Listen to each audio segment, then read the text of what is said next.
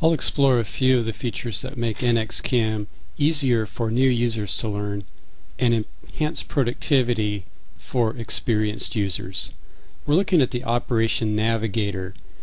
This Navigator organizes all of the manufacturing objects. This is the program order view. You can see the program objects here and the operations that exist in each program.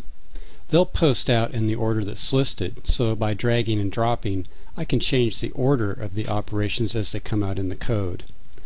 There's other information available here. As you look to the right, you'll see the tool that's used for each operation, the tool number, the cycle time, including the total time for the program, the geometry that's in use, and the method.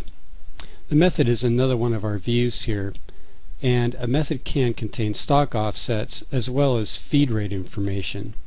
So if I want to change one of my operations from a semi-rough to a rough, I just drag and drop it to the other method, regenerate it, and it will have the new stock offset and feed rate information.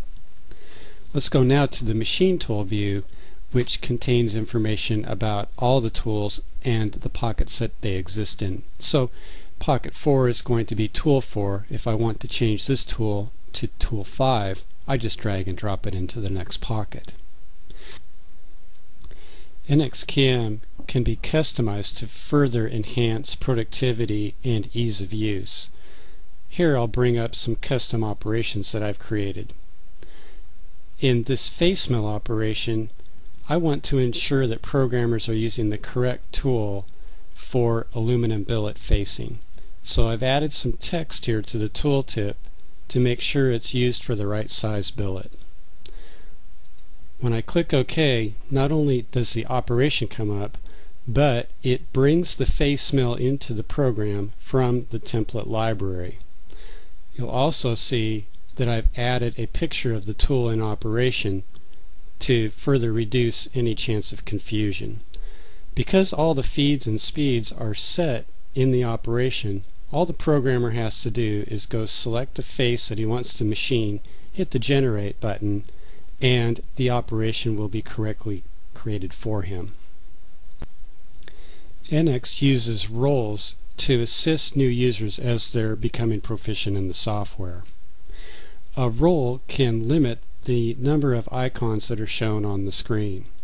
Here in the industry-specific roles you see a CAM Advanced and a CAM Express.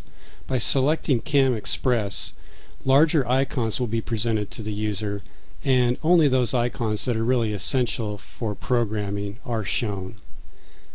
As the user becomes more proficient, they can switch to the advanced role, see smaller icons, but icons that are more specific to more complex programming tasks.